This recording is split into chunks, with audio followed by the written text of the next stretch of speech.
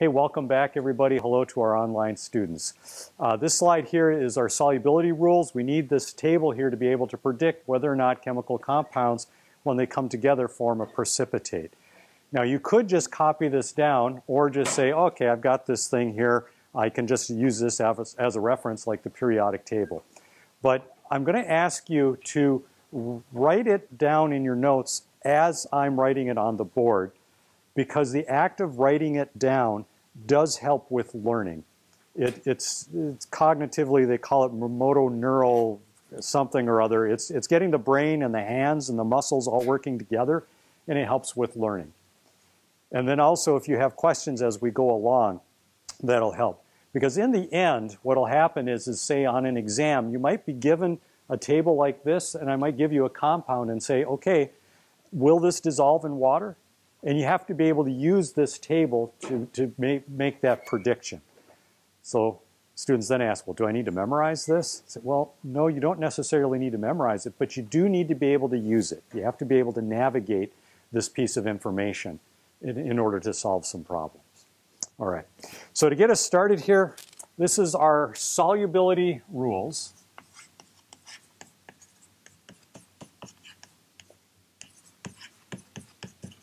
Solubility rules. And this is just going to help us to determine whether or not something dissolves in water or does not. So I'm going to start out with rule number one. Let's see here. Rule number one. Okay, rule number one. If these things are present, it's soluble in water. Okay, so I'm going to say um, soluble if contains these things. So if you see these things, think, all right, this is going to be soluble in water. So group 1A cations.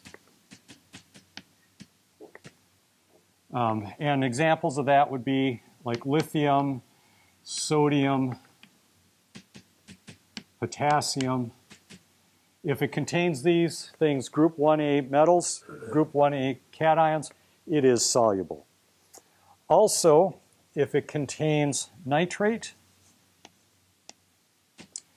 it's soluble. Acetate,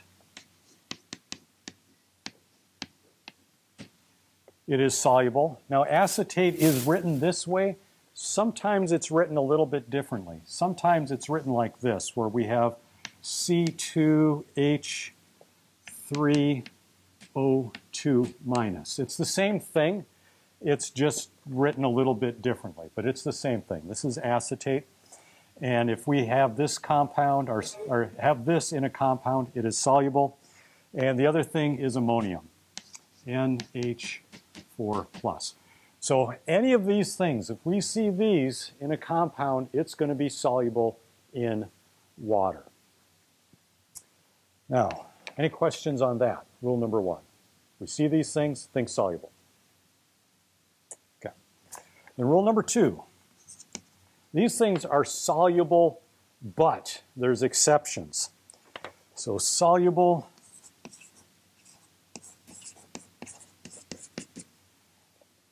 soluble. So these things are soluble. So um, our, our halides, our group 17 elements. So this is things such as chlorine or bromine or iodine.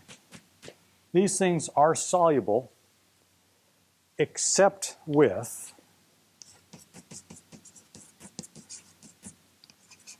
except with. So if these other things are present with these, then it is no longer soluble. And these exceptions are uh, silver ion,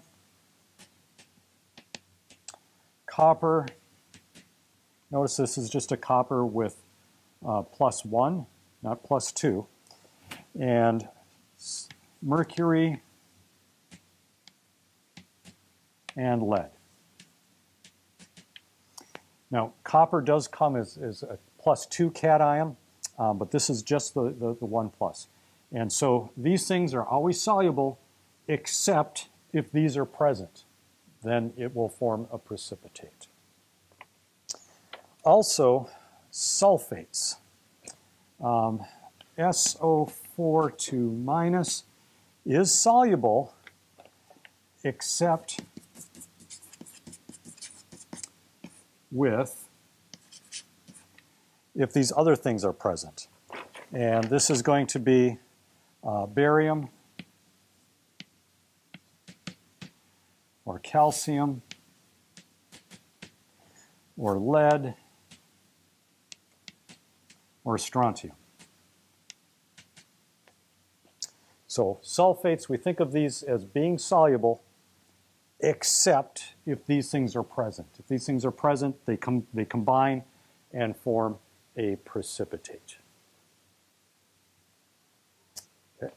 Any questions on that? Okay. Then our last rule, rule number three. So these things, uh, in our table it says slightly soluble, only slightly soluble. Uh, I'm going to go out on a limb here and just say not really soluble. So slightly soluble means like, yeah, just a little bit, but mostly not. And people will argue over this and they'll fight and such. Is it soluble? Is it only slightly soluble? Is it not soluble? It's like, yeah, it, well, let's just say not soluble.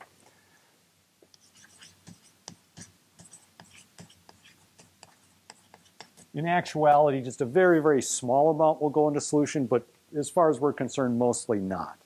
Not really soluble. So not soluble. Okay, so these things are not soluble.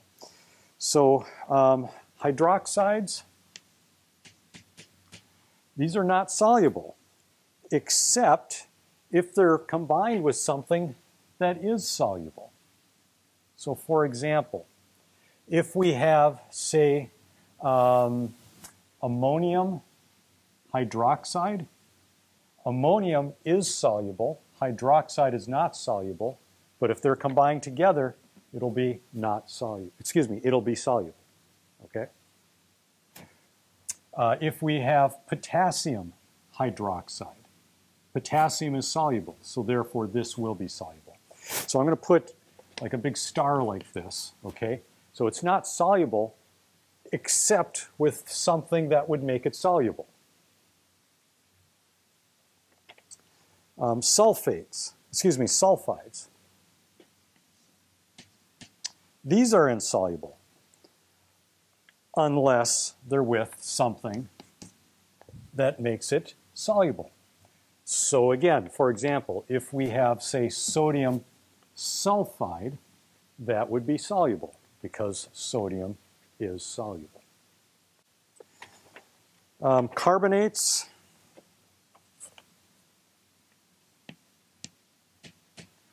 These are insoluble, except with these up here. Maybe I'll put this like this here, if that helps.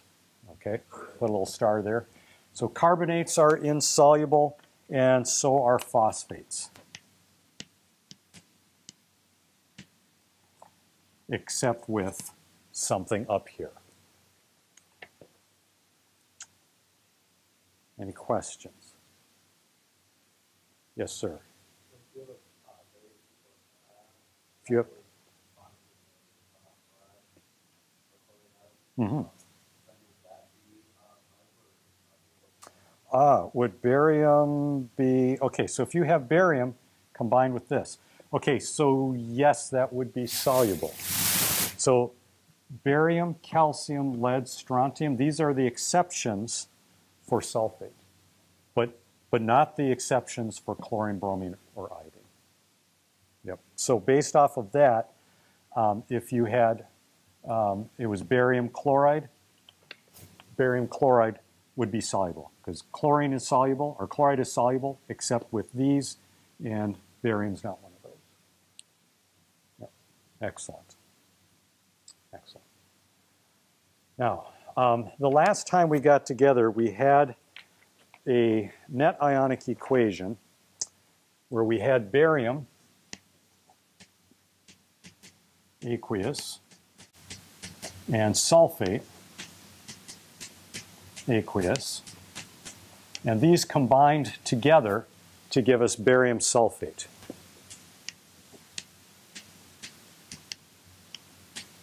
And I told you that the barium sulfate formed a precipitate. In other words, it was not soluble. And I didn't explain why. And, and I said, well, you'll just have to wait. You'll just have to wait until the next time we get together because I'm not going to share that little nugget of information with you. That makes me valuable, right? Because that way, if somebody was going to knock me off in the next 24 hours, like, you know, I was really thinking about doing it, but we do need this bit of information, right? So I'm going to keep them around just a little bit longer. That's not the way you think? Okay, that's good. That's good. All right. That's a positive thing. All right, so now as we look at this, the barium sulfate, we go over here and we say, all right, um, ah, sulfate. Here, sulfate is, is soluble except with barium. And so that's how we predicted, or I predicted here, that barium sulfate forms the precipitate. That's where that came from. Uh, now, there's another type of reaction, uh, net ionic reaction, and that is one that doesn't form a precipitate, and that is where we have um, an acid and a base comes together and forms water. Now, in this example here, we have hydrochloric acid, and this is the full ionic equation. We have hydrochloric acid and sodium hydroxide gives us sodium chloride or salt and water. So we're forming water in this reaction. Basically, we're forming salt water. Now we have spectator ions in here, and our spectator ions are the ones that appear on both sides, and nothing changes. So if nothing changes on either side, these are spectator ions, we cancel those out. And then that leaves us then with water. And so our net ionic equation for this one is hydrogen ion plus hydroxide ion gives us water. And so we don't really think of water as being a precipitate, but this is an example where our net ionic equation here is water. It's a little odd, a little weird, just kind of one of those odd little nuggets. Okay. The other thing I'll throw out to you is is pharmaceutical companies, when they come up with a molecule, that they need it to be absorbed into your bloodstream. And your bloodstream is mostly water, which means that drug needs to be soluble in water. And a lot of drugs, when they first come up with them, are not soluble in water. So what they do is they will react them so that way chemically they could add something like this to the drug. And if they can add, like, say, lithium, sodium, potassium to the drug, then that makes that drug soluble. And so that way it gets through the bloodstream. So there's, there's a whole pharmaceutical science involved in that. Just kind of a side thing. Okay. All right, then based off of that, does it make sense? You have to have a certain background in chemistry in order to catch some of these memes.